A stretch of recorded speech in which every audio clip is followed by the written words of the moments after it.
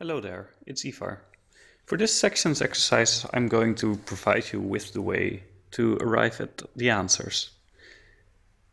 For the first exercise of this section, we are going to take the role of a consultant who is reflecting on the preventive action the Italian government has taken to prevent their mozzarella from turning blue.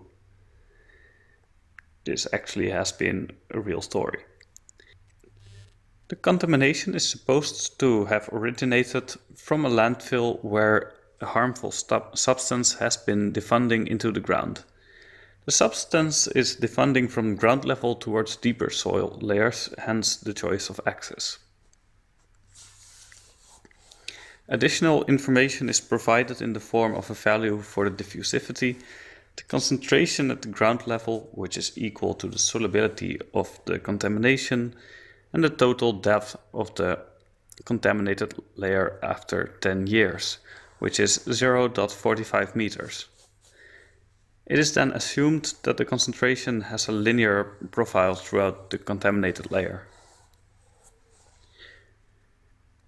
The first question in the exercise asks you to find the gradient of the concentration in the soil.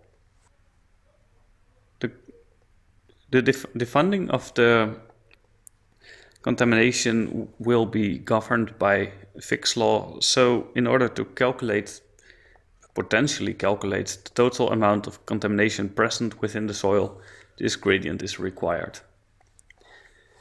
The gradient dc dx for linear profile can be garnered from the macro data, delta c divided by delta x.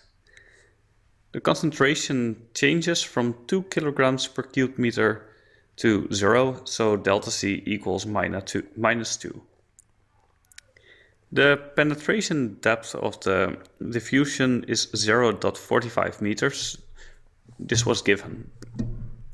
So all in all, the gradient will come down to minus 4 4 ninth or minus 4.44 kilograms per cube meter per meter.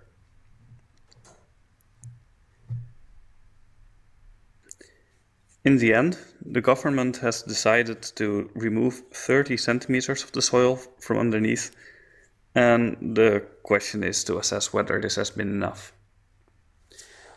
When removing 30 centimeters, we are still well within the linear concentration region, so we can calculate the concentration as a function of x as the initial concentration plus the gradient times x which means that it starts at it starts at the solubility of the contamination and declines over the range of x with the negative gradient.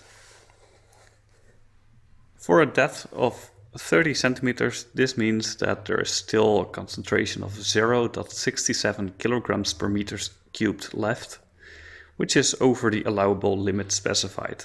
So the answer is no.